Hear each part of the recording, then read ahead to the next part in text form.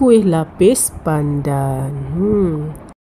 Satu cawan tepung beras, satu cawan tepung gandum. Ha, lebih kurang macam tu ya. Saya tambahkan dua sudu tepung jagung. Satu sudu kecil garam, satu cawan dan air daun pandan. Kacau sebati. Masukkan satu cawan gula.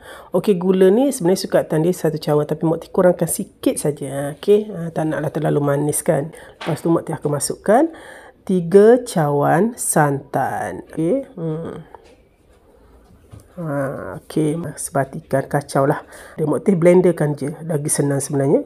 Kan dalam pengisar lah. Ha, okey, masukkan sebab uh, dia masih ada ketul-ketul tu kan. Uh, okay. Tapi tak apa, kita kisar nanti dia akan halus lah. Bagikan dua bahagian. Kan? Kita bagikan biar ada sama banyak lebih kurang macam tu lah. Ha, okay, masukkan sedikit pewarna biar ada nampak hijau uh, hijau sikit lah. Ha, tu hijau ori daripada daun pandan dan sedikit hijau. Uh, tambahkan sedikit pewarna lah biar dia berbeza lah. Ha, kan? Sapukan loyang dengan sedikit minyak masak. Panaskan acuan terlebih dahulu.